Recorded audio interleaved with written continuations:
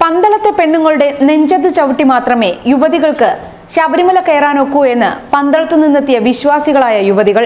ശബരിമലയിലെ യുവതീ പ്രവേശനം അനുവദിച്ച സുപ്രീം കോടതി വിധിക്കെതിരെ പന്തളം കൊട്ടാരത്തിന്റെ നേതൃത്വത്തിൽ സെക്രട്ടേറിയറ്റ് പഠിക്കൽ നടക്കുന്ന ഏകദിന നാമജപ യജ്ഞത്തിൽ പങ്കെടുക്കാനെത്തിയവരായിരുന്നു യുവതികൾ.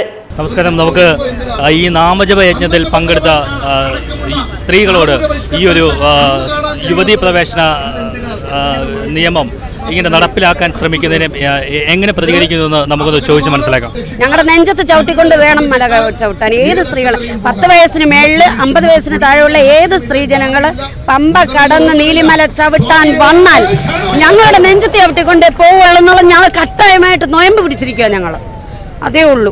മറ്റൊന്നും ഞങ്ങൾക്ക് പറയാനില്ല. ആര് ഈ നിയമം കൊണ്ടുവന്നോ അവരിൽ നിന്ന് ഇത് പിൻവലിക്കണം എന്നുള്ള നാമജപം മാത്രമേ ഞങ്ങൾക്ക് ഞങ്ങൾക്കതിന് രാഷ്ട്രീയ ജാതി മത ഭേദങ്ങളൊന്നുമില്ല. എനിക്കും അതുകൊണ്ടൊക്കെ തന്നെ പറയാനുള്ളൂ കുഞ്ഞെ. എന്താണെന്ന് ചോദിച്ചാൽ ഞങ്ങൾ പ്രായമുള്ളവർ ഞങ്ങളെ പോലുള്ളവർ ഞങ്ങളെ ജാതിക്ക് പോയിട്ടുള്ളൂ. അല്ലാതെ ഞങ്ങൾ കൊച്ചിലേ പോയിട്ടുള്ളതേ ഉള്ളൂ. ഇനി ഞങ്ങൾക്ക് പോകാനുള്ള അവസരമാണ് പക്ഷേ ഞങ്ങൾക്ക് അൻപത് വയസ്സ് കഴിഞ്ഞും പത്ത് തന്നെ ഇപ്പോൾ ഒക്കത്തില്ല. അതിൽ കുറച്ചേ വെക്കും അങ്ങനെ കയറ്റാൻ ഒക്കത്തില്ല എന്നാ പറയുന്നത് ഞങ്ങൾക്ക് അത് നിർബന്ധമാണ് ഞങ്ങൾ അമ്പലത്തിന്റെ മുറ്റത്തുള്ളത്. അവരോട് കയറണ്ടെന്ന് തന്നെ പറയണം. അങ്ങനെ കയറാൻ പറ്റുന്ന സാഹചര്യമല്ല ഈ അയ്യപ്പന്റെ അവിടെ. വേറെ ഈ പറഞ്ഞ കയ്യിൽ ഇതെല്ലാം പറഞ്ഞ പോലെ എല്ലായിടവും കയറാമല്ലോ ശബരിമല അയ്യപ്പന് അത് നടപ്പല്ല. ഇത് കേരളത്തിലെ ഹൈന്ദവ സമൂഹത്തെ ഒട്ടായ ബാധിക്കുന്ന പ്രശ്നമാണെന്നുള്ളത് തന്നെയാണ് എന്നെ സംബന്ധിച്ചിടത്തോളം ഞാൻ ഞാൻ പന്തളത്ത് ജനിച്ചു വളർന്നൊരു കുട്ടിയാണ്. അമ്പലത്തിന്റെ അടുത്താണ് വീട്. ഞാൻ ഒരു വട്ടമേ ആകെ അമ്പലത്തിൽ പോയിട്ടുള്ളൂ. എനിക്ക് ഇതുവരെ ഈ പ്രായത്തിലാണ് മറ്റുള്ളവർ പറയുന്നത് അനുസരിക്കാൻ തന്നെ താല്പര്യം. എന്റെ അമ്മ എന്നോട് പറഞ്ഞിട്ടുണ്ട് ഈ പ്രായം കഴിഞ്ഞാൽ പിന്നെ ശബരിമല പോകരുത്. അതുകൊണ്ട് തന്നെ ഞാൻ പോകുന്നില്ല ബാക്കിയുള്ളവരെ കാര്യം എനിക്കറിയില്ല പക്ഷേ ശബരിമലയുടെ പേരിൽ ഇത്രയ്ക്ക് പ്രശ്നം ഉണ്ടാക്കേണ്ട കാര്യമൊന്നുമില്ല. ഈ ഞാൻ എന്തായാലും അൻപത് വയസ്സ് കഴിഞ്ഞിട്ട് ശബരിമലയിൽ പോകാൻ ഉദ്ദേശിക്കുന്നുള്ളൂ. ഭക്തരായിട്ടുള്ളവരെല്ലാം അങ്ങനെ ചെയ്യുള്ളൂ. സുപ്രീം കോടതി അങ്ങനെ തന്നെ ആയിരിക്കണമെന്നാണ് എന്റെ തീരുമാനം. ശബരിമലയിൽ പത്ത് വയസ്സിന് അമ്പത് വയസ്സിന് അടുത്തുള്ള പെണ്ണുങ്ങൾ കയറ്റരുതെന്നാണ് കാരണം നേരത്തെ മുതലുള്ള ആചാരങ്ങൾ പിന്തുടർന്ന് പോകണമെന്ന് എനിക്ക് കാത്തിരിക്കാൻ തയ്യാറാണ്. ഞങ്ങൾ കാത്തിരിക്കാൻ തയ്യാറാണ്. Ready to wait. എന്റെ മോൾ നാല് പ്രാവശ്യം ശബരിമലയിൽ പോയതാണ്. അവളും പറയുന്നത് അതേ. അഭിപ്രായമാണ് ഹിന്ദുമത എല്ലാ അമ്പലങ്ങളും ഉണ്ടല്ലോ. വേറെ മറ്റുള്ള അമ്പലങ്ങളുണ്ട് അയ്യപ്പ ക്ഷേത്രങ്ങൾ ഒരുപാടുണ്ട്. ഈ മൂർത്തിയുടെ പ്രത്യേകതയാണ്. ഓരോ ക്ഷേത്രത്തിലും ആ മൂർത്തിയുടെ പ്രത്യേകതയ്ക്ക് അനുസരിച്ചുള്ള പൂജകളാണ് നടക്കുന്നത്. എല്ലായിടത്തും ഒരേ പൂജകളല്ല നടക്കുന്നത്. ഓരോ ക്ഷേത്രത്തിലും ഓരോ തരത്തിലുള്ള അപ്പൊ അയ്യപ്പ ശബരിമലയിലെ ഒരു ബ്രഹ്മചാരിയാണ്.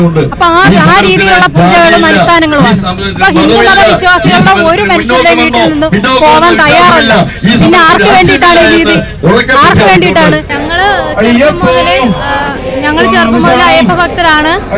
പക്ഷെ ഞങ്ങൾ വീട്ടിൽ നിന്നും നാട്ടിൽ നിന്നും ഞങ്ങൾ ഒരു സ്ത്രീകളും പത്ത് വയസ്സിനും അൻപത് വയസ്സിനും ഇടയ്ക്ക് അമ്പലത്തിൽ എന്തായാലും ശബരിമല പോകുന്നില്ല. ഞങ്ങൾക്ക് ആഗ്രഹമുണ്ട്.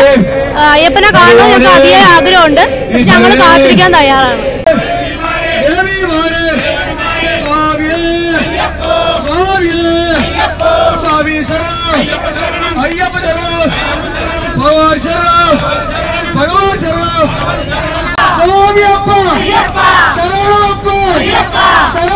ഈ വിജയം ഇങ്ങനെ വിജയം വരെ ഞങ്ങൾ മുന്നോട്ട് കൊണ്ടുപോകും പത്ത് വയസ്സിന് മുകളിലും അമ്പത് വയസ്സിന് താഴെയുള്ള സ്ത്രീകളെ ഞങ്ങൾ കയറാൻ അനുവദിക്കില്ല ഞാൻ ക്ഷേത്ര സംരക്ഷണ സമിതിയുടെ മാതൃസമിതിയുടെ ജില്ലാ പ്രസിഡന്റാണ്.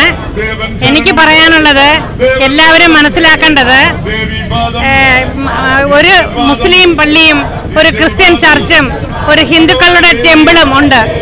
അപ്പൊ ഇതിൽ എല്ലാ ആരാധാലയങ്ങളാണ് ഈ ആരാധാലയം എന്ന് പറയുമ്പോൾ നമ്മൾ മനസ്സിലാക്കേണ്ടത് ഈ അമ്പലത്തിന്റെ പ്രത്യേകത എന്താണ്? അത് ഒരു മൂർത്തിഭാവമാണ്. അതിനെ പൂജിക്കുന്നുണ്ട്. അതിന് വെള്ളം കൊടുക്കുന്നുണ്ട് കുളിപ്പിക്കുന്നുണ്ട് ഉറക്കുന്നുണ്ട് ഡ്രസ് ചെയ്യിപ്പിക്കുന്നുണ്ട് അഭിഷേകം നടത്തുന്നുണ്ട്. ഇതിന് സ്വത്തുണ്ട്. ഇൻകം ടാക്സ് സ്വത്തുണ്ട്. ടാക്സ് കൊടുക്കുന്നുണ്ട്. എല്ലാം ഉണ്ട്. എന്തെന്ന് വെച്ചാൽ അയ്യപ്പൻ എന്ന് പറയുമ്പോൾ അത് ഒരു പെപ്പച്വൽ മൈനറാണ് അതിന്റെ അധികാരം അതിന്റെ കസ്റ്റോഡിയന്. അതിന്റെ കസ്റ്റോഡിയൻ എന്ന് പറയുന്നത് തിരുവിതാംകൂർ ദേവസ്വം ബോർഡാണ്. തിരുവിതാംകൂർ ദേവസ്വം ബോർഡാണ് ഇപ്പം തീരുമാനിക്കേണ്ടത്. അതിലെ നമ്മുടെ പത്മകുമാർ സാറ് അത് ആദ്യം അത് റെസൊല്യൂഷൻ കൊടുക്കുമെന്ന് പറഞ്ഞു. എന്തുകൊണ്ട് സാറ് കൊടുക്കുന്നില്ല? പിണറായി സാർ എന്തിനു ഇത്ര വാശി പിടിക്കുന്നു? ഇതാണ് എന്റെ ക്വസ്റ്റ്യന്